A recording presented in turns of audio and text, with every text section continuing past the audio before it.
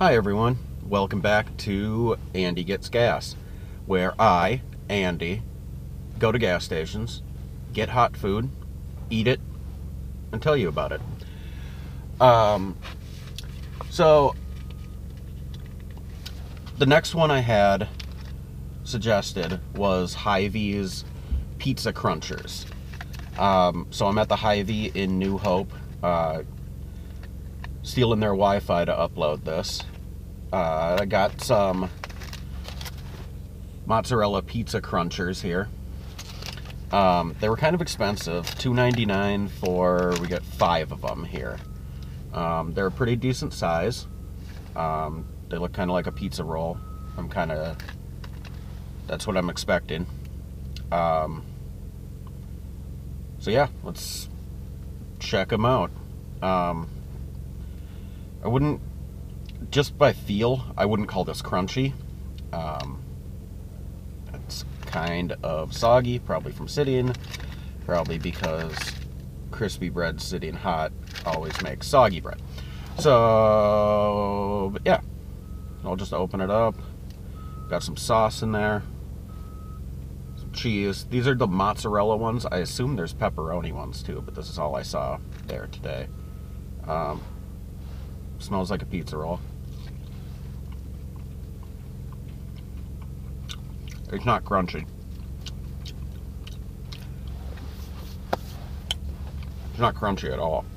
Um, maybe they're better when they're super fresh, but you know we do what we do.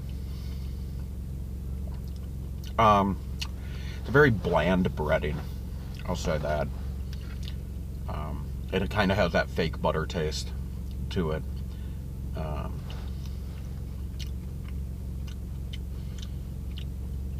sauce is fine. Also very bland. I could use some some spice to it. Um, the cheese could be meltier. Oh no, this isn't bad. I don't know if I'd pay three bucks for it again. But um No. It's basically like a pizza roll. Um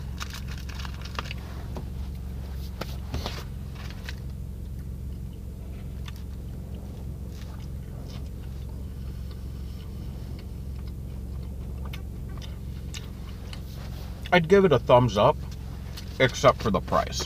If this was two dollars for five, I'd get these. But I can't justify paying three dollars for something that's, you know, not very, not very tasty. But it gets the job done. So yeah, that was the Hy-Vee Pizza Cruncher. Um, excuse me. Got my pineapple crush. Delicious. Um, thanks to Kendi for the suggestion. Uh, anything I got right, anything I got wrong, let me know in the comments. Any suggestions on other things to try out, let me know in the comments. I do have a list that I'm working my way through. Um, so, yeah. Thanks for stopping by, everyone. Have a good day.